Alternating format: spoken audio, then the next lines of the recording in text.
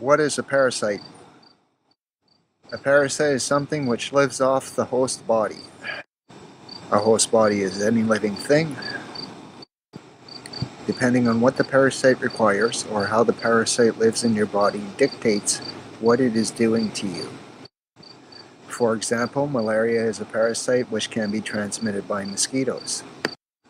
When it is transmitted to humans, it can spread throughout the body quite quickly, making this its home.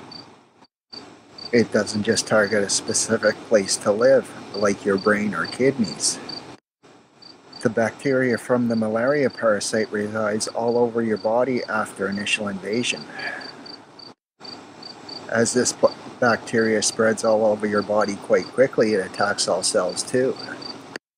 This will drop the energy fields all over your body by targeting all cells, organs, and critical bodily systems you have. Another example of a parasite would be spider mites. Spider mites live off another form of host body, such as a flower. A spider mite can latch on to a houseplant, flower, maybe a tree, and if they are left unchecked, they can grow to numbers in the hundreds of thousands in a very short time, like a month or two. After they reach numbers like this, they basically overwhelm the plant by feeding off all the valuable nutrition destined for the health of the plant. This weakens the plant and eventually kills it. Notice the heavy spider webs.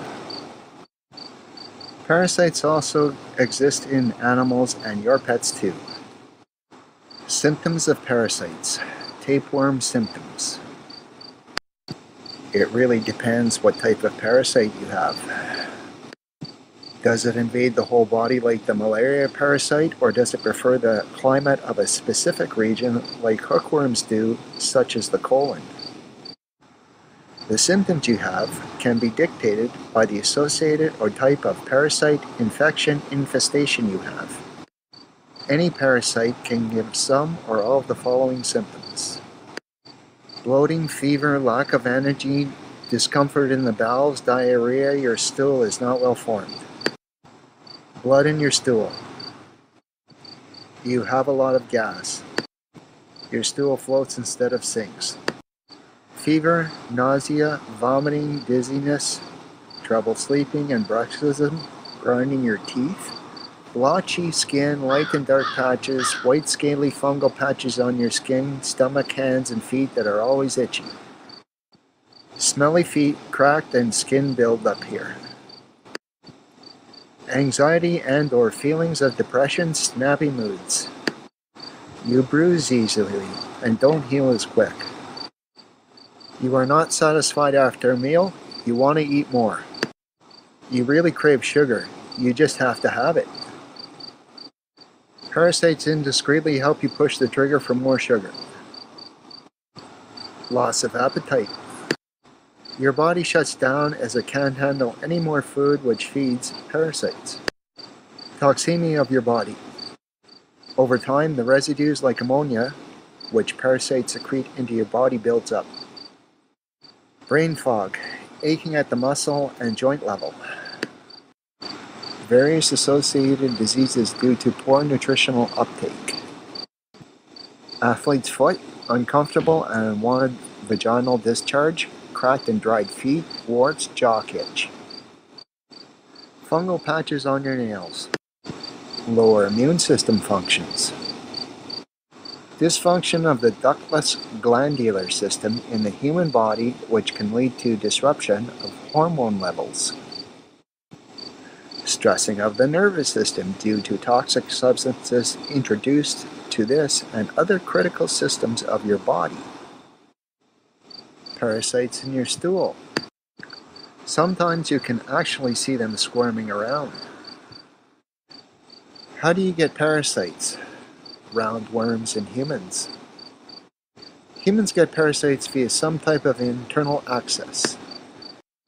Bug bites are one way parasites are transmitted. The bug which bites you already has the bacteria in it which will infect you. Another way is through the transmission of parasitic larvae or eggs to you through your ingestion system. Parasite larvae or eggs get into you from your hands when you put them into your mouth or eyes, through saliva exchange with your pet, as deposits on the food you eat, again in the form of larvae or eggs. Parasites are natural on the earth and have always existed in humans, pets, and in the environment. But they have been kept in check for a long time in regards to how they could affect your health negatively. If we modify our diet quite radically with junk or rich foods, we can and do basically destroy the beneficial bacteria, good flora, that also lives in our body. This good flora helps keep bad bacteria in check. As there is nothing to combat the parasites or bad bacteria anymore, it thrives. Long-term health risks from parasites parasitic infections, and our stomach worms. When you have a parasite problem, there are a few problems associated with this. Parasites steal proper nutrition from your body. They get first helpings and leave you with the leftovers. Your body is an amazing machine and it takes time for the health effects of malnourishment to show up. Your age and what type of parasite you have are two factors which could dictate how slight or more severe malnourishment or parasitic stealing of your nourishing cellular food affects your body. Also, if a parasitic infestation like worms is present in your body, over time the residues will give your body a chemical toxemia problems as one of the chemicals associated with the oily, slimy discharge from the parasite is ammonia. So with a parasite problem that is left unchecked, this can add a toxic chemical compound to your body. That can't be good. The above mentioned points might indicate that your body could be weaker if it had a parasite problem. Therefore, parasites might lead to a rise in disease problems in humans. Thanks, Dave Scrivens,